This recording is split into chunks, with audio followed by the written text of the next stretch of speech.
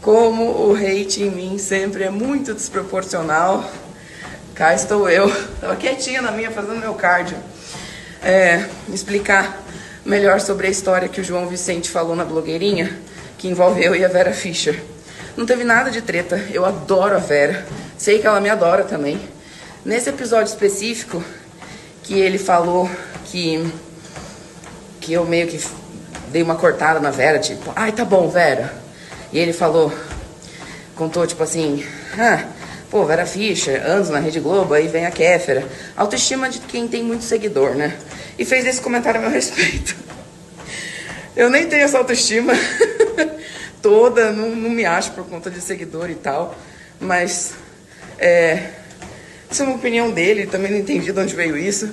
É só para explicar que a história não foi exatamente como ele contou, tá? O que de fato existe é um grupo no WhatsApp com a frase Eu tinha uma bolsa, que foi uma frase que a Vera falou nesse dia que ela deu uma bebidinha a mais. Ela tava procurando a bolsa dela no restaurante e ela falou, tipo, eu tinha uma bolsa, eu vim com uma bolsa. Algo assim que na hora foi muito engraçado, todo mundo riu. E foi isso, mas ela não me tacou bolsa, não teve bolsado, não teve briga, não teve nada é, disso. Eu não entendi mesmo por que, que o João resolveu contar isso e contar isso desse jeito. É, mas acho é bom deixar claro para vocês, porque até minha mãe veio mandar notícia e falar, nossa, como assim? Falei, ai mãe, pois então. Também não entendi por que, que ele falou isso e falou dessa forma. Mas também tô achando engraçado ter que me explicar no story que eu nunca briguei com a Vera Fischer, eu nunca imaginei, né?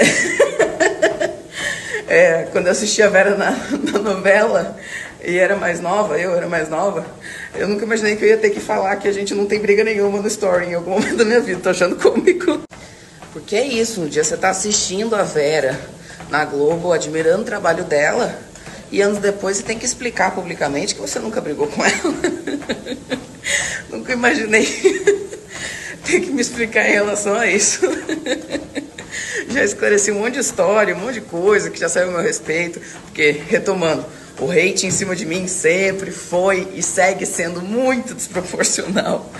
Agora, deixar claro que eu não sou obrigada com a Vera Fischer, isso para mim é bastante novo. não tem como não rir dessa, desse esclarecimento, certo? Já que eu nunca imaginei ter que esclarecer algo é, entre eu e Vera Fischer, vou jogar pro universo do tipo, daqui uns anos eu quero voltar aqui falando, gente, eu e Cauã Raymond ficamos sim, mas foi uma coisa, foi ali numa festa, foi por acaso.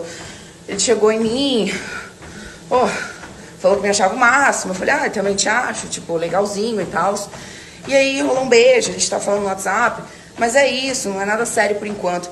Daqui uns anos eu acho que eu venho esclarecer isso aqui pra vocês, tá? Anota. Cauã, com todo respeito, vambora, tá? Se tu tiver disponível, não sei se tá solteiro, se não tá. E assim, ah, mas você não faz meu tipo, Kéfera. Pega por dó. Será que com esse apelo eu consigo te conquistar?